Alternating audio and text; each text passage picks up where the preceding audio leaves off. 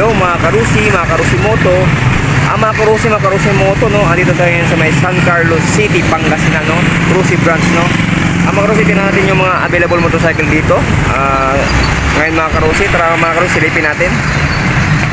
So, tapat siya ng ito. Ah, dito siya sa may ah, Boulevard, no? Highway, ah, San Carlos Highway, ayan. May kubo-kubo dyan. At makuros yung papuntang Binmali, Pangasinan to. Papunta naman tong Malasiki. Ito mga karusi o Rusi Branch. Ayan. Ay mga sa Ruas Boulevard yan, no? Ruas Boulevard yung area na to. Ito mga sa Ruas Boulevard to, ano yung mga kubo. Ang mga karusi tapat lang siya. Ito mga karusi. oh. Ayan. Wala mga karusi, may mga karusi. Ito yung available na motorcycle na sa ngayon. Ayan, may Rusi Classic dyan. Tsaka may uh, Rusi ah,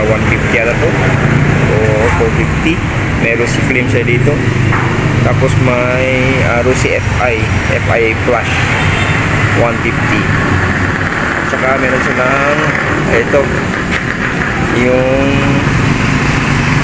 uh, Delta 125 tsaka ROC Passion tsaka mga sa likod mga kalusi andun yung mga pan-tricycle nila.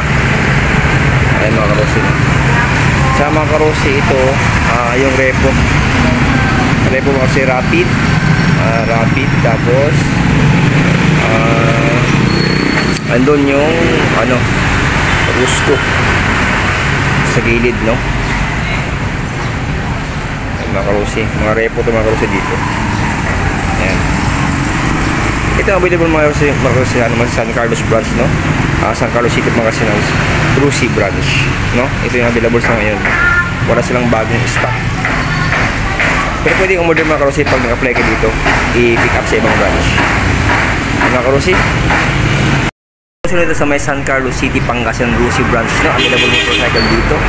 Okay mga karosi, no? Ah, punta lang kayo dito. Ah, dito sa may Ruas Boulevard, na highway, ah, San Carlos City, Pangasinan.